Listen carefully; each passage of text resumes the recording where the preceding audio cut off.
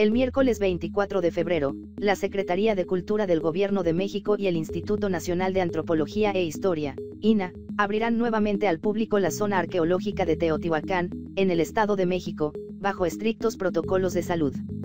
La reapertura se llevará a cabo en colaboración con el Gobierno del Estado de México, como una acción que busca incentivar la reactivación económica de la región sin desatender los protocolos sanitarios establecidos por el Gobierno de México. La zona arqueológica de Teotihuacán abrirá en un horario de visita de 9 a 15 horas. El aforo permitido será de hasta 30% de la capacidad de carga, estimada a partir de las estadísticas de visitantes del año inmediato anterior, por lo que se permitirá el acceso a un máximo de 3.000 personas por día.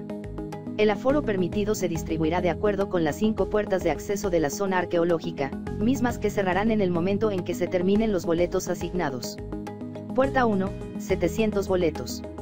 Puerta 2, 700 boletos. Puerta 3, 350 boletos. Puerta 4, 550 boletos. En este acceso se dará servicio a los operadores turísticos autobuses. Puerta 5, 700 boletos. El visitante deberá portar cubrebocas al llegar al sitio y durante todo su recorrido, para protección del personal que le expedirá el boleto, así como del que revisa los boletos en los módulos de entrada, no se permitirá el ingreso a las personas que no porten cubrebocas. En el filtro sanitario dispuesto en cada acceso, a los visitantes se les tomará la temperatura y se les otorgará una porción de gel antibacterial. No se permitirá entrar con bebidas alcohólicas ni a personas en estado de ebriedad, tampoco ingresar con bultos o mochilas voluminosos.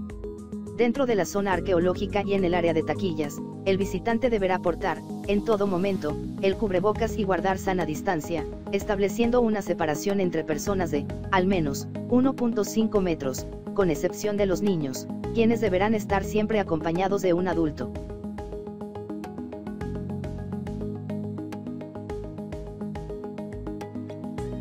No olvides suscribirte a canal Tuitealo y dejar tu like.